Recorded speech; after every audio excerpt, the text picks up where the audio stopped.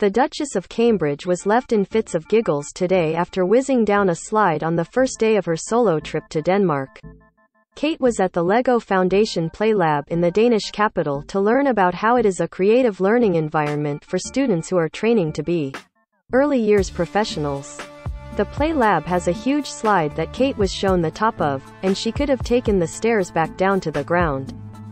But daring Kate opted to have a go herself at the twisting slide and couldn't contain her laughter as she appeared at the bottom with her hands in the Kate Middleton comes whizzing down a slide during a visit to the LEGO Foundation Play Lab in Copenhagen. Image. Reuters. She then said, In the spirit of where I am, I had to do that.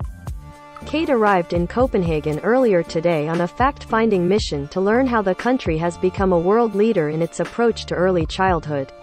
She looked stunning in a red blazer from Zara that she previously wore when watching the England v Germany game at Wembley during the Euros last summer. Kate beamed as she shot out of the end of the slide. Image. Ritzau Scanpix, AFP via Getty Ima.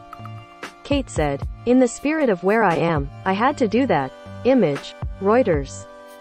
Love the Royals? Sign up for the Mirror's daily newsletter to get all the latest news on the Queen, Charles, Kate, Wills, Meghan, Harry and the rest of the firm. Click here to sign up. Underneath she wore a ruffled white shirt, with the red and white colors a nod to the Danish flag. She teamed it with black wide-legged trousers, a small black Aspinal of London handbag and earrings and a necklace from Monica Vinader. Kate wore a blazer from Zara and teamed it with black wide-legged trousers. Image. Reuters. Most read. Mum crushed to death at gym trying to lift 400 pounds barbell the weight of a gorilla. UK weather forecast. Exact date storm Gladys will bring snow, wind and torrential rain. Queen's stinging remark about Kate Middleton's lack of career and luxury life.